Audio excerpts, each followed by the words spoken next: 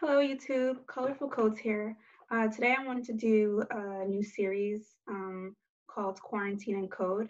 So I saw the hashtag on Twitter and I thought that it would be cool just to keep myself busy because I feel like I don't have any new material to talk about Microsoft uh, until a few weeks from now. So in the meantime, I'm just going to do a bunch of algorithms. Um, also, just want to apologize for my microphone. I just found, I just realized that it sounds really not good. Uh, so my next tutorial will be with a nice professional microphone. Um, today I'm going to do the flood fill algorithm. Um, the flood fill algorithm, it's a graph question.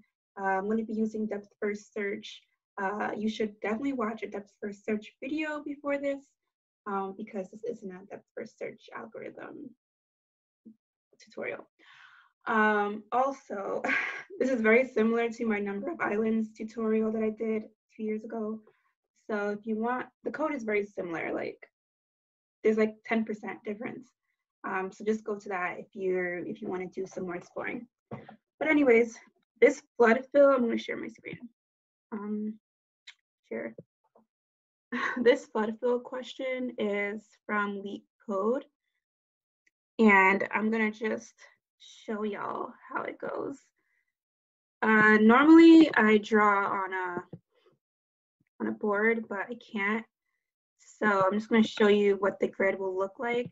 Um, I actually tried to draw it out, but this does not look good. right here, LeetCode's thing. So let me zoom in.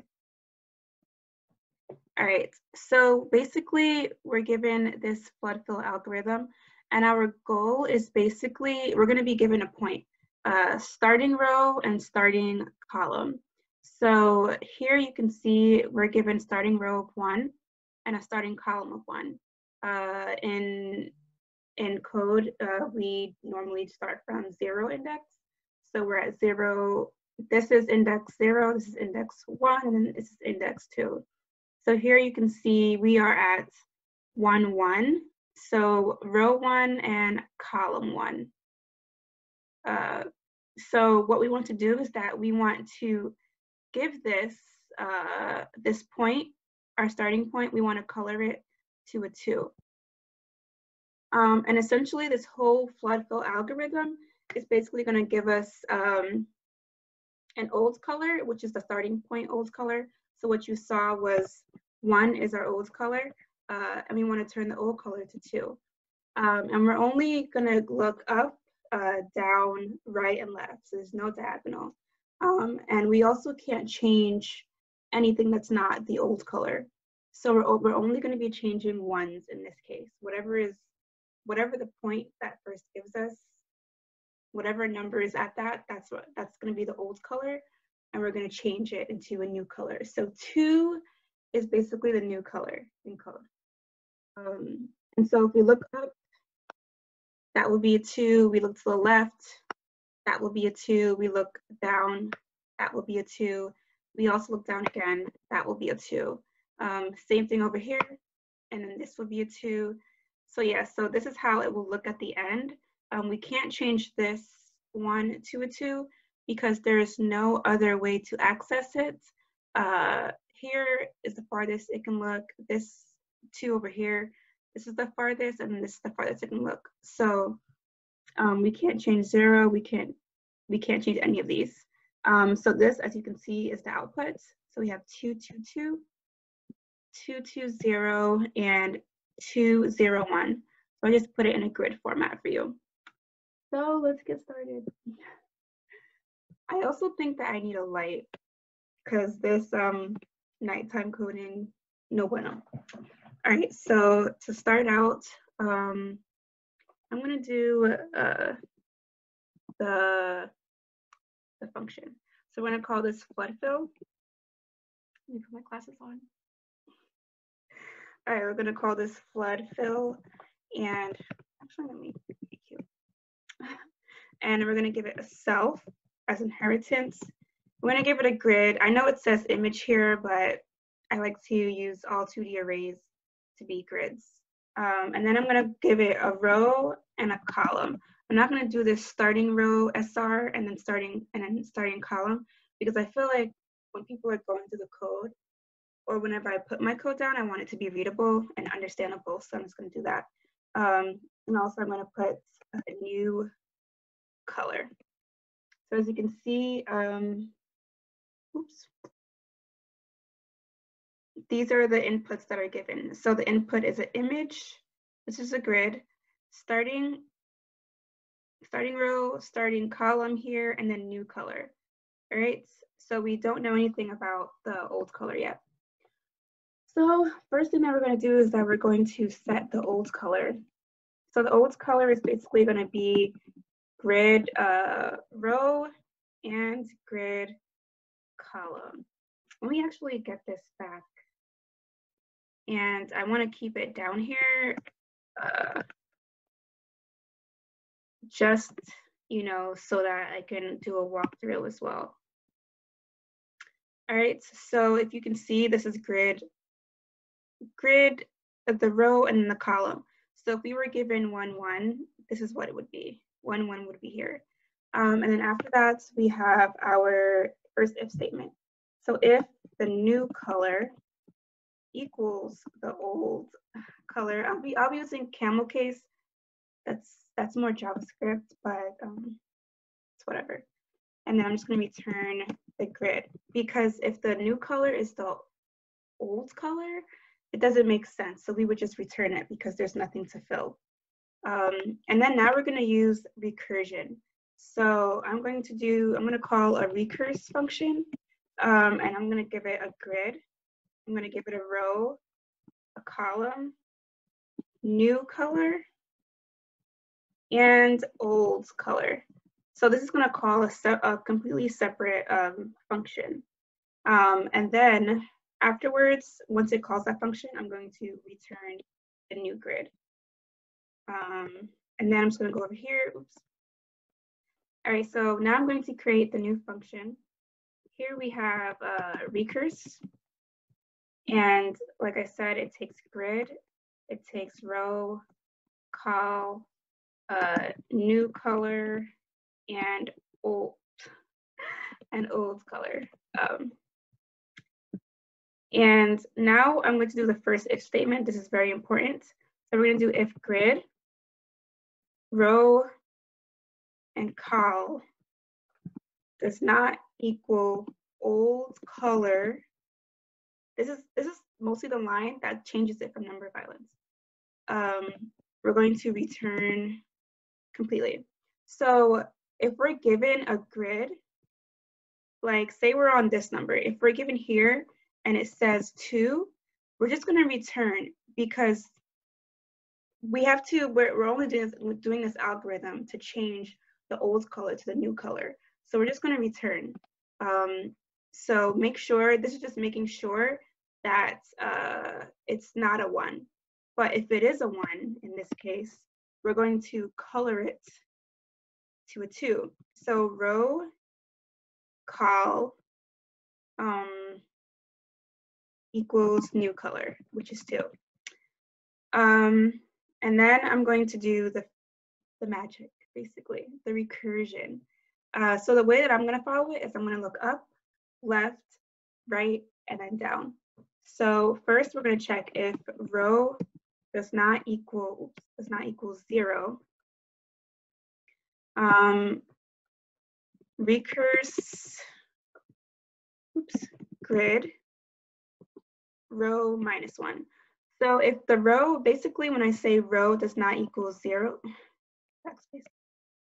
basically when I'm saying row does not equal zero, I want to make sure that the row as you can see, we have zero, one, two. If it was row zero, there's no way to look above it. So we can only look above when we're on row one and then row two. So if it's not zero, then we can look, um, then we can look above. So basically, since this is hypothetically, if this were one, we would do row, so basically one minus one, and then it would equal, it would be equal to zero, so we can look right above it. So row minus one, and then call, and then new color the same, um, and then old color. And I'm also gonna use Python Tutor just for a little bit, just so that you understand. I'm just gonna post this code into Python Tutor just to do a walkthrough. Um, yeah.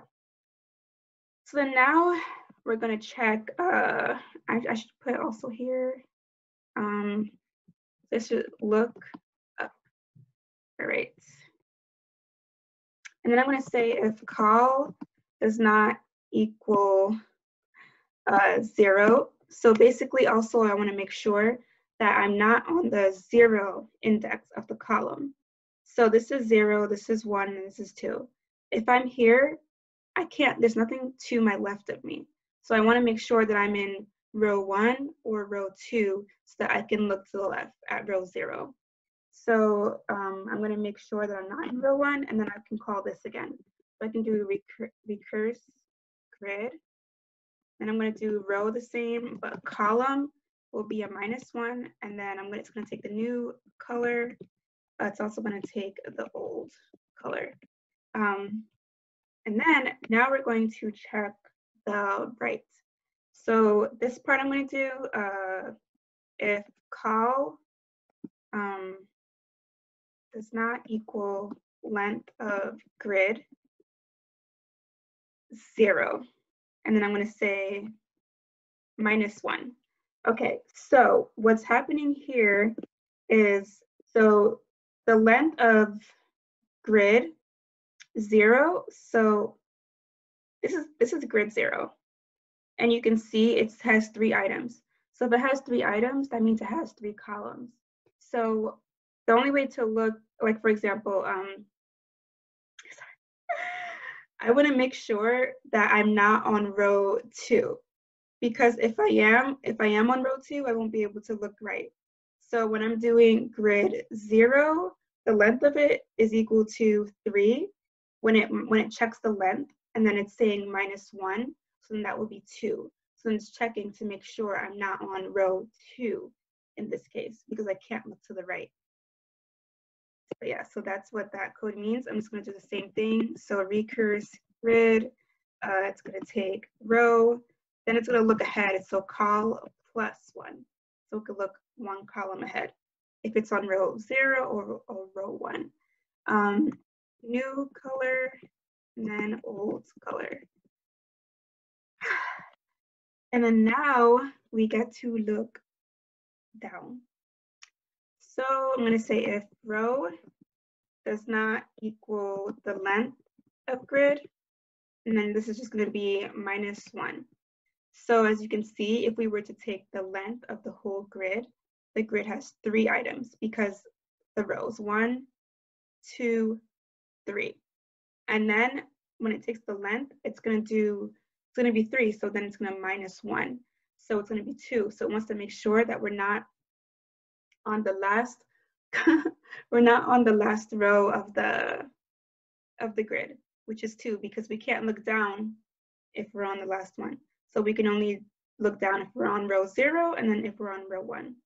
Um, and then we're going to do recurse again. Gonna take the grid, uh, gonna take row plus one so we can look ahead one um, call new color, old color. And that should be it. Um, yeah, so let's see if it runs. Um, let me comment this out. Why am I trying to save? Okay, submit. Uh, yeah, so it's submitted. Um, and I also am going to have the code here. I have it also, I posted it. I'm just going to do one little quick edit uh, just to add that class in there. Um, and yeah, this is the code. So basically it's changed the whole, it's colored the whole uh, grid, and then it's just gonna return it here. So once it finishes, it's gonna come back and it's gonna return. So now I'm just gonna do a quick uh, Python visualization. Python Tutor is the best tool that you need when you're trying to understand algorithms. Don't depend on it, but it's amazing. So here's Python Tutor and here's the code. I don't have the class here. Um, so basically, it's just going to define the two. and here it's taking the grid. Look at this. So here we have zero, one, and two. All right, and then it's going to define, oops, it defines old color. So old color here, uh, old color was row one and uh, column one. So what that got was one, and then it's gonna check if new color equals old color, so we're just gonna pass that. And now it's going to take all these arguments, all these arguments here, um, and it's going to put it all in this new function, this recurse function. Um, so then now this is checking to see if it's the old color. If it, no, it's checking to see that uh, grid um, one one isn't the old, is is not the old, wait, wait. does not equal if grid row and col does not equal the old color, return, but it does equal the old color. So it's gonna continue. And then now here it's going to color it too, see? And then it's gonna check if row does not equal zero, which it doesn't, equals one, it's going to put in all these arguments and it's, look, looky here. It's gonna row, it's gonna do row minus one. So now row is gonna be zero. And you see, this is how recursion works. That's why I, I advise you to use Python tutors that you understand. So now it has the function and it's checking over here. So basically right now, we are over here, we are at uh, column one and then row zero. And it's gonna see if the color does not equal old color, but it does. So it's gonna color that. And then it's gonna check if, if it is, if row does equal zero, which it does. So then it's just going to, it's gonna um, pass that. But then it's gonna look to its left and it's gonna see if column does not equal zero. And right now, column doesn't equal zero, it equals one. So it's gonna call that, and now it's gonna be zero, zero, as you can see right here. So then here we have the arguments passed in, checking that it's not the old color, which it is, so it's gonna skip that if statement. Then it's gonna color right here to be two. Um, yeah, it's just gonna continue like that uh, all the way until the end. Um, and let me just get to the last previous. And as you can see, this is just like the algorithm that I showed you of what it's supposed to be, uh, what it's supposed to look like at the end. So yeah, so I hope this was helpful. Um, I definitely want to do more algorithms for you all, and I think I'm going to do a um, blog post with this. And yeah, this microphone, I'm sorry, y'all. But uh, if you have any more questions, just let me know in the comment section because I'll have the blog post below. Uh, and uh, any questions that you have, I can answer them on there, on the blog post, on my Twitter at Colorful Codes, my Instagram at Colorful Codes. Um, and I'm doing further tutorials because some people asked asked me for them. So I have about like five in queue. So if you ask for any more, you'll be number six in queue. All right, so let me know if you have any further questions. And yeah, I hope this helped. So thank you for watching flood fill and Python. Take care and good night.